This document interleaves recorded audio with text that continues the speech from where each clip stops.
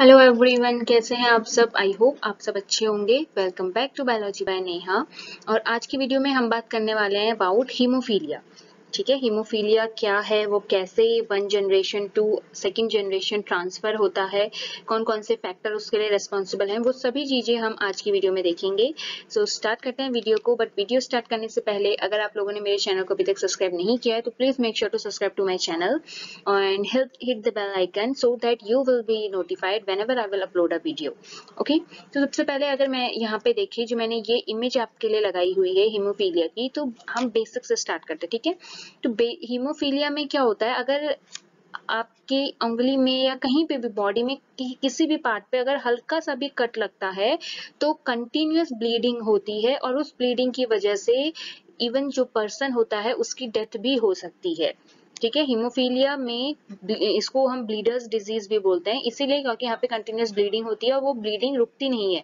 यहाँ पे blood clot नहीं होता है। ब्लड क्लॉटिंग नहीं होती है।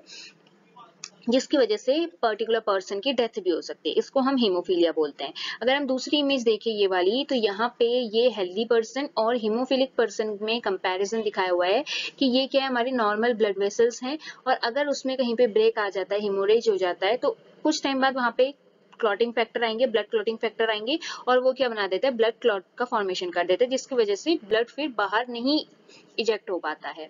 बट वही केस अगर हम हीमोफिलिक पर्सन का देखें, ये हमारी नॉर्मल ब्लड वेसल्स है, यहाँ पे ब्रेकेज हुआ, यहाँ पे हिमोरेज हुआ। जो ब्लड होगा वो कंटिन्यूस इजेक्ट आउट होते रहेगा और यहाँ पे इनएबिलिटी टू क्लॉट यहाँ पे ब्लड की क्लॉटिंग नहीं बन पा रही है। ब्लड क्लॉट होगा ही नहीं जिसकी वजह से इतने छोटे से पो, ए, पोर से भी जो भी कट लगा है उससे ब्लड कंटिन्यूस बाहर इजेक्ट आउट होते रहेगा और ब्लड क्लॉटिंग नहीं होगी। तो इस उस पर्सन को हम बोलेंगे हीमोफिलिक पर्सन और उस कंडीशन को हम बोलेंगे हिमोफीलिया सबसे पहले हम कुछ पॉइंट्स देख लेते हैं हिमोफीलिया के तो हीमोफीलिया को मैंने आप लोगों को बताया ऑलरेडी कि इसको हम ब्लीडर्स डिज़ीज़ भी बोलते हैं, ठीक है? It is a sex linked recessive disorder ये कैसा डिसऑर्डर है सेक्स लिंक्ड रिसेसिव डिसऑर्डर ये बात आप लोगों ने याद रखनी है it is a sex linked recessive disorder recessive gene अगर प्रेजेंट होगा इसका और सेक्स के अकॉर्डिंग सेक्स क्रोमोजोम में रिसेसिव जीन अगर प्रेजेंट होगा तो ये डिज़ीज़ होगी, ठीक है? This disease is discovered by John Otto in 1803 John Otto ने इस डिज़ीज़ को डिस्कवर किया था 1803 में। The defect is known as bleeders disease because the exposed blood of haemophilic patient fails to coagulate ठीक है, ये मैंने आप लोगों को बताया कि ब्लीडर्स डिज़ीज़ में क्या होता है? जो ब्लड होता है, अगर ब्लड एक्सपोज हो रहा है बाहर तो वो फेल हो जाता है कोगुलेट करने में। ठीक है ब्लड कोगुलेट नहीं हो पाता। क्यों नहीं हो पाता? है due to the deficiency of blood clotting factor जो ब्लड क्लॉटिंग फैक्टर एट है, उसकी डेफिशिएंसी की वजह से ब्लड वहाँ पे क्लॉट नहीं हो पाता ठीक है? Blood clotting factor eight and factor nine ये लोग आप चीज़, ये चीज़ें आप लोगों को याद रखनी है कि ब्लड क्लॉटिंग फैक्टर एट और ब्लड क्लॉटिंग फैक्टर नाइन वहाँ पे क्या हो जाती है? उनकी एब्सेंस हो जाती है, जिसकी वजह से वहाँ पे ब्लड क्लॉट नहीं बन पाता है, ठीक है? जो हीमोफीलिया होता है, वो मेजरली दो टाइप का होता है haemophilia A and haemophilia B ठीक है? अगर हम हीमोफीलिया बी की बात करें तो इसको क्रिसमस डिज़ीज़ भी बोला जाता है।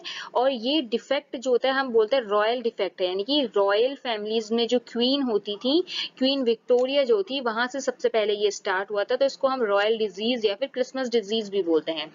रॉयल फैमिली की जो क्वीन थी यूरोप की क्वीन विक्टोरिया वहाँ से ये डिज़ीज़ स्टार्ट हुई। तो इसीलिए इसको हम रॉयल डिज़ीज़ या फिर क्रिसमस डिज़ीज़ भी बोलते हैं okay human female are generally carrier human जो फीमेल होंगी इसमें वो जनरली कैरियर होती हैं इस डिसऑर्डर के लिए और अगर वो कैरियर है तो वो नॉर्मली अपनी लाइफ स्पेंड करेंगी। ठीक है? ऐसा क्यों होता है वो मैं अभी बताऊँगी आप लोगों को। If double recessive condition appear in female अगर फीमेल में डबल रिसेसिव कंडीशन अपियर होती है तो वो फीमेल बिफोर बर्थ ही डाई हो जाएँगी। ठीक है?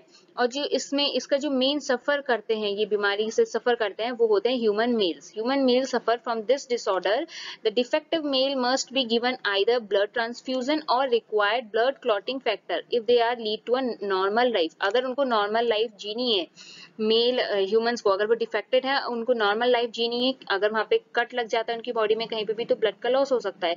तो इसीलिए उनको अगर अपनी नॉर्मल लाइफ जीनी है तो उनको ब्लड ट्रांसफ्यूजन का सहायता लेनी पड़ेगी या फिर उन्हें ब्लड क्लॉटिंग फैक्टर अपनी बॉडी में लेने पड़ेंगे, जिसकी वजह से, ताकि उसकी वजह से वो अपनी नॉर्मल लाइफ को स्पेंड कर सके। अगर उन्होंने ये सब चीज़ नहीं किया तो स्मॉल कट भी अगर उनकी बॉडी में लगता है तो इतना ब्लड लॉस हो जाता है पूरी बॉडी का, कि इवन इंडिविजुअल की डेथ भी हो सकती है। ठीक है, अब मैं आप लोगों को बताती हूँ कि ऐसा क्यों होता है। जो फीमेल्स होती है, ये मैंने बताया, ये क्या है रिसेसिव डिसऑर्डर है। सेक्स लिंक्ड रिसेसिव डिसऑर्डर यानी कि वो सेक्स क्रोमोसोम से रिलेटेड है। रिसेसिव यानी कि वो अपनी रिसेसिव फॉर्म में जब होगा, तभी वो डिसऑर्डर शो करेगा। तो फीमेल का अगर जब हम केस देखते हैं फीमेल के पास दो एक्स क्रोमोसोम होते हैं एक्स और एक्स ठीक है? अगर ये क्रोमोसोम अपने रिसेसिव फॉर्म में होगा एच सिर्फ़ एक ही जीन में डिफेक्ट है और एच अपना रिसेसिव फॉर्म मतलब यानी कि वो स्मॉल एच में है, ठीक? अगर ये केस है तो यहाँ पे फीमेल क्या होंगी? कैरियर होंगी। ठीक है, वो डिज़ीज़ को कैरी करेंगी और वो डिजीज्ड नहीं होंगी क्योंकि यहाँ पे जो एक्स एच उसका जो डोमिनेंट फॉर्म है, वो उस, इस जीन के एक्सप्रेशन को इनहिबिट कर दे रहा है, ठीक है? तो इस केस में जो फीमेल होंगी, वो कैरियर होंगी।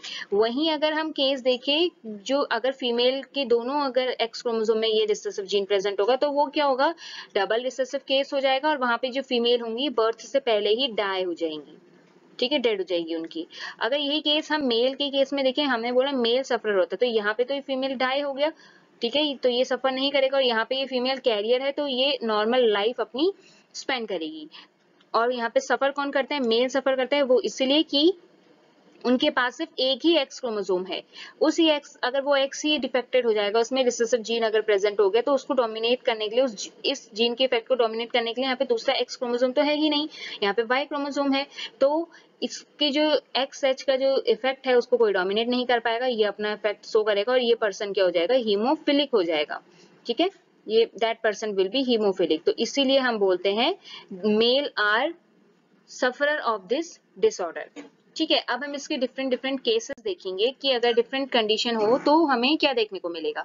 तो सबसे पहला केस है, अगर वुमेन जो है, वो क्या है कैरियर है। कैरियर यानी कि वो जीन को कैरी कर रही है बट वो अपनी नॉर्मल लाइफ स्पेंड करेगी और मेल जो है नॉर्मल है। ठीक है, ये कंडीशन सबसे पहले हम देखते हैं और इनकी मैरिज हुई तो इनके ऑफ़ की क्या क्या कंडीशन होगी, वो कंडीशन हम लोग यहाँ पे देखेंगे। तो स्टार्ट करते हैं। तो सबसे पहले हम देखते हैं कि जो पेरेंट्स होंगे, वो कैसे होंगे, वो कैसे हैं? फीमेल जो है, वो क्या है? कैरियर है। ओके इनकी क्रॉसिंग करवाई हमने नॉर्मल मेल के साथ। ये क्या है? मेल है और ये नॉर्मल है। तो जो गैमेट्स बनेंगे, वो कैसे होंगे? एक्स और एक्स एच और यहाँ पे जो गैमेट बनेंगे, वो एक्स और वाई अगर ये फ्यूज करता है इसके साथ तो हमें क्या मिलेगा? एक्स एक्स अगर यही क्रोमोसोम इसके साथ फ्यूज करता है तो हमें मिलेगा एक्स वाई अगर ये इसके साथ फ्यूज करता है तो हमें मिलेगा एक्स एच एक्स और यही अगर इसके साथ फ्यूज करता है तो हमें मिलेगा एक्स एच वाई अब ये क्या क्या डिफरेंट डिफरेंट कंडीशन है, वो देख लेते हैं हम। एक्स एक्स यानी कि डॉटर है, और वो डॉटर क्या होगी? नॉर्मल होगी। ठीक है, ये क्या होगी? डॉटर होगी, और this daughter will be normal क्योंकि इस पे कोई रिसेसिव जीन नहीं है। ये क्या होगा? सन होगा और ये सन भी क्या होगा? नॉर्मल होगा।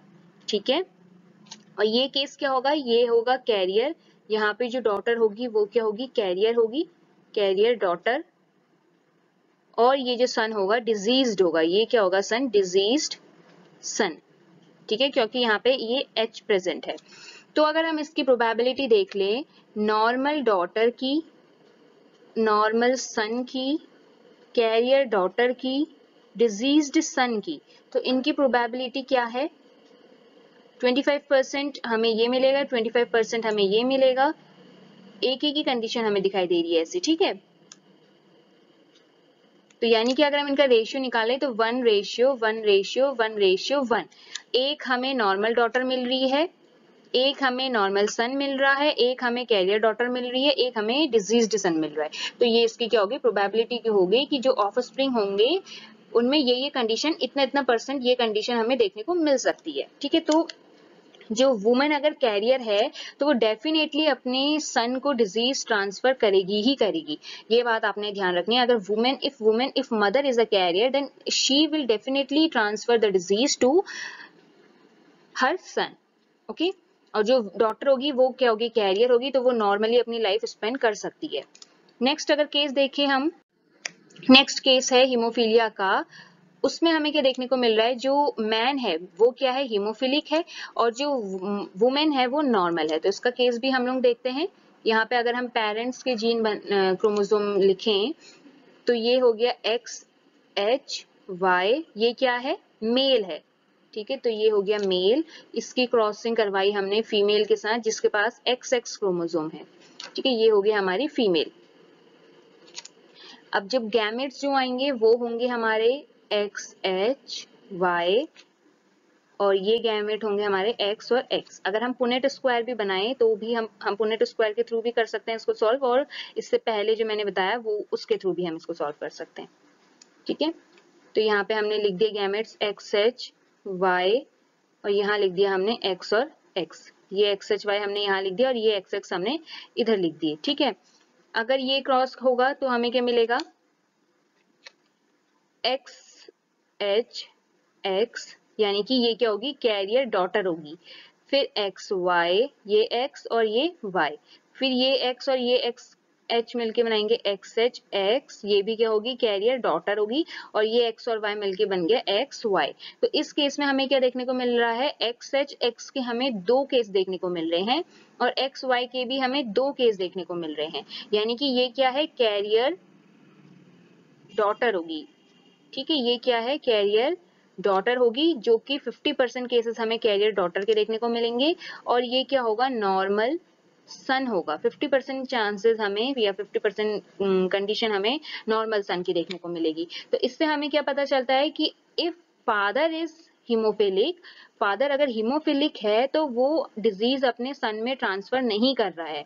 ठीक है, वो डिज़ीज़ ट्रांसफ़र नहीं कर रहा है ऑल वो उसकी जीन्स जो डॉटर होंगी, दोनों जितनी भी डॉटर होंगी, वो सब कैरियर होंगी, ठीक है बट कैरियर डॉटर भी अपनी नॉर्मल लाइफ जी सकती है नॉर्मल लाइफ स्पेंड कर सकती है तो उसको इतना इफ़ेक्ट नहीं करेगा बट जो सन होंगे, वो नॉर्मल सन होंगे, और जितनी भी डॉटर्स होंगी, वो सब कैरियर होंगी, ठीक है, यहाँ पे आप लोगों को ये बात रखनी है ऑल डॉटर्स आर कैरियर ठीक है सारी डॉटर्स कैरियर्स होंगे। क्वेश्चन सॉल्व करते टाइम आपको बहुत हेल्प करेगा कि अगर मैन हीमोफिलिक है या फादर हीमोफिलिक है तो उस केस में सारी डॉटर्स क्या होंगी? कैरियर होंगी।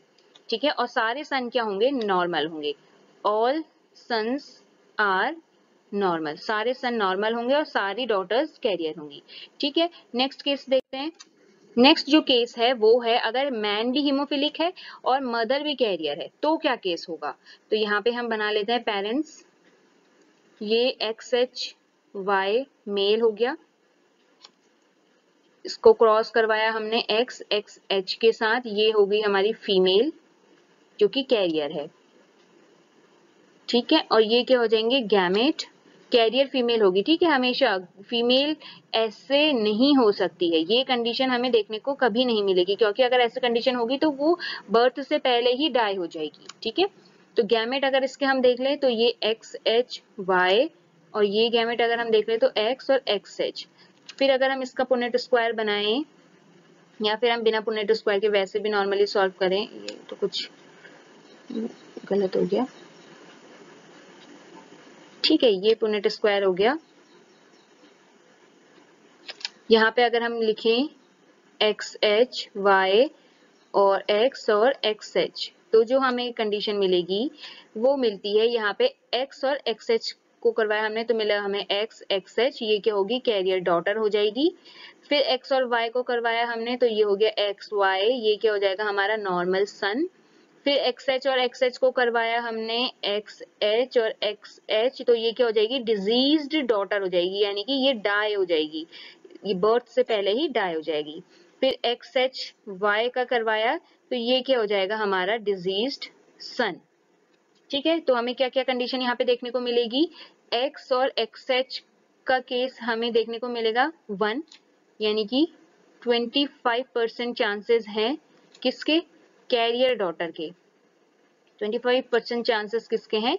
कैरियर डॉटर के हैं. फिर सेकंड केस हमें क्या मिला? X Y normal son one हमें नॉर्मल सन मिल रहा है, यानी कि 25 परसेंट चांसेस हैं कि हमारा जो सन हो, वो नॉर्मल हो नॉर्मल सन फिर हमें देखने को मिला एक्स एच एक्स एच यानी कि 25 परसेंट चांसेस हैं कि जो डॉटर हो, वो क्या हो हीमोफिलिक हो। और फिर ऐसी कंडीशन अगर मिलेगी तो वो चाइल्ड क्या हो जाएगा डाई हो जाएगा, ठीक है? हीमोफिलिक डॉटर और एक कंडीशन हमें मिलेगी एक्स एच वाई की, जहाँ पे हमें देखने को मिलेगा ये भी 25 परसेंट होगा। यहाँ पे हमें क्या देखने को मिलेगा? जो सन है, वो क्या है? डिजीज्ड है। डिजीज्ड सन की कंडीशन देखने को मिलेगी, या फिर हीमोफिलिक सन की कंडीशन हमें देखने को मिलेगी। हीमोफिलिक सन ठीक है? तो यहाँ पे अगर हम इसका रेशियो निकालेंगे तो वन रेशियो किसका होगा? जो डॉटर होगी, वो कैरियर होगी। वन रेशियो वन रेशियो का क्या होगा? जो सन होगा वो नॉर्मल होगा। वन रेशियो होगा जो फीमेल होगी, वो क्या होंगी? हीमोफिलिक होंगी और वन रेशियो जो होगा वो डिज़ीज़ का होगा। तो यहाँ पे भी रेशियो आ रहा है। One ratio one ratio one ratio one. ठीक है? तो ये डिफरेंट डिफरेंट केसेस हमने देखे कि अगर मैन हीमोफिलिक है, ठीक है अगर फादर हीमोफिलिक है और मदर कैरियर है तो हमें क्या चांसेस देखने को मिलते? हैं तो उस केस में हमें सिर्फ़ नॉर्मल सन देखने को मिलेगा। 25 परसेंट चांसेस है कि जो सन होगा, वो नॉर्मल होगा। और कैरियर डॉटर भी देखने को मिलेगी। कैरियर डॉटर भी अपनी लाइफ नॉर्मली स्पेंड कर सकती है। तो 25 परसेंट चांसेस इनके होंगे और 25 परसेंट चांसेस क्या होंगे कि वो जो सन होगा, वो डिज़ीज़ होगा। और 25 परसेंट चांसेस जो होंगे, वो जो डॉटर होगी, वो हीमोफिलिक होगी। ठीक है? और चौथा केस मैंने आप लोगों को बता दिया कि अगर चौथा केस लेते हैं हम कि फीमेल भी क्या है? कैरियर है। फीमेल भी हीमोफिलिक है तो ऐसा कंडीशन हमें देखने को नहीं मिलेगी। अगर ऐसी कंडीशन होती है तो वो बर्थ से पहले ही डाई हो जाएगी। तो तीन केस देखे हमने अपने हीमोफिलिक कंडीशन में। हीमोफिलिया के केस में अलग अलग तीनों केस देखे।